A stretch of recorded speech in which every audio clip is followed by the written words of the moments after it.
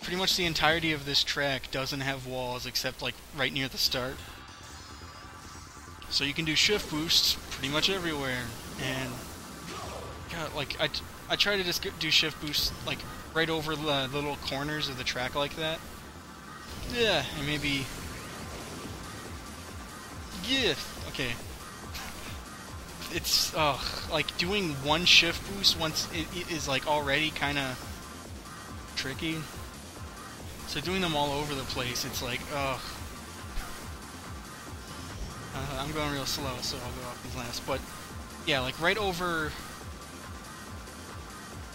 like the place where it's not impossible to do shift boost is like on the little corners right when it like separates. You can uh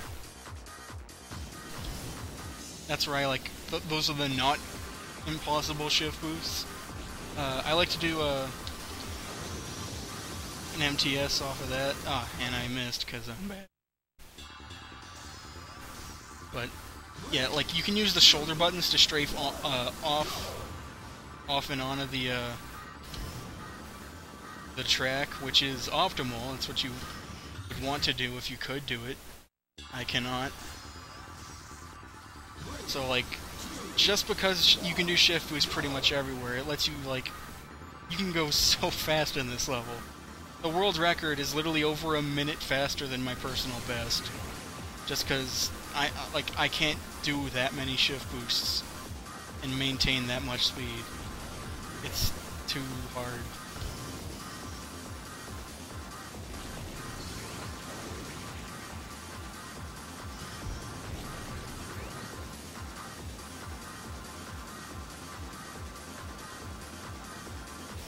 Dang it.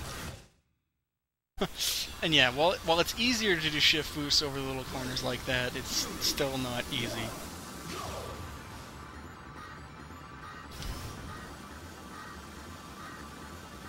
I don't think I'll go for any, like, LR shift boosts.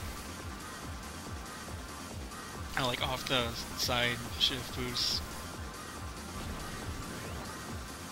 Just the, uh, just little corner ones like that because they're not impossible. But uh, yeah, so typically over most of like uh like right when the corners start like that, God, ugh, that, that you would want to do shift boost there.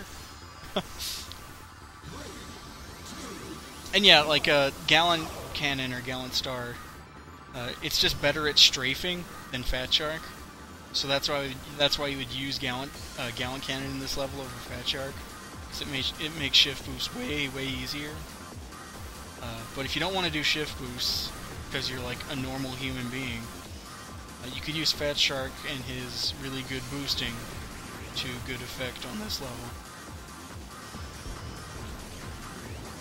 Because strictly speaking, like Fat Shark has way way better boost, like best boost in the game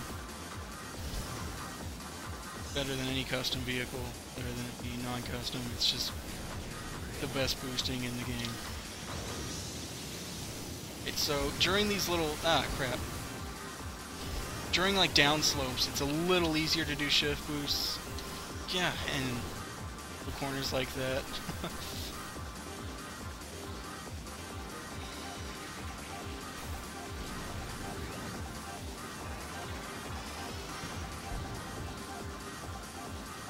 But I don't want to go shift boost crazy. So once you get boost, take the middle path.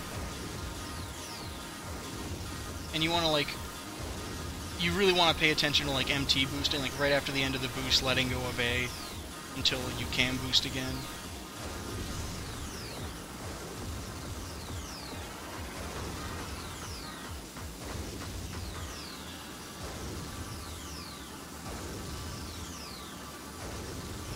Not going to bother with doing an MTS off of the ramp.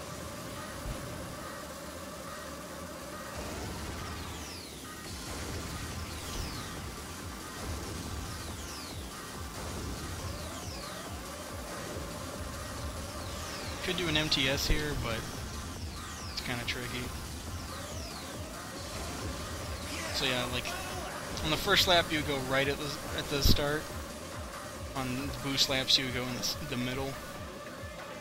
And you wouldn't want to waste boost like I did, because otherwise they'll be waiting forever to uh, like I did there. But uh, yeah, that's that's Cosmo Terminal. Like, it's a very simple track in how it's laid out. It's all, you know, nice, like no, no sharp turns or anything like that. But because of the the many possibilities of shift boosting, it's a nightmare to to go really fast on and get a good time.